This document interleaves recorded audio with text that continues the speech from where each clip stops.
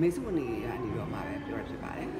ဒီလက်ရှိအခြေအနေကိုပြောရင်းအဲ့ဒါပါလက်ရှိအခြေအနေကိုပြောရင်းနဲ့ဟုတ်ကဲ့ပြောတာပါ။ဘာကြောင့်လဲဆိုရင်ဟိုလက်တလုံးမှာဆိုရင်ပြည်သူတွေရဲ့ကြားထဲမှာเนาะစိုးရိမ်ပူပန်မှုတွေကတအားမြင့်တက်နေတာဖြစ်တဲ့အတွက်ကြောင့်မို့လို့ဒါကိုပြောရှင်းဖြစ်ပါတယ်။